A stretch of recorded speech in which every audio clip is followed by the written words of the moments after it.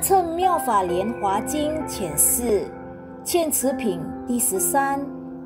一九六八年，宣化上人讲述于美国加州三藩市佛教讲堂，总名二世弘经。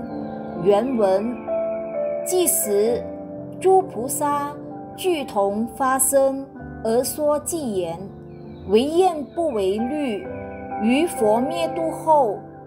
恐怖恶世中，我等当广说。翻译：即时诸菩萨俱同发生而说偈缘，就是在这个时候，这所有八十万亿这么多的大菩萨一起同时发出声音，共同说出以下的偈颂：为厌不为虑。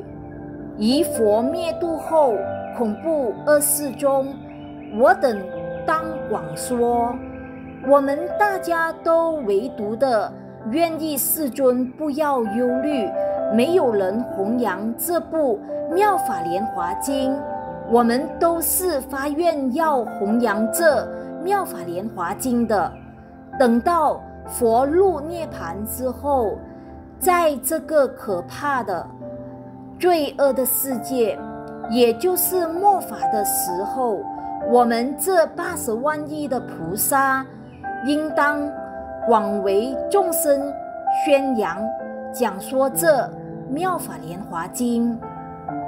摘自《大乘妙法莲华经》浅释，上宣下化老和尚讲述。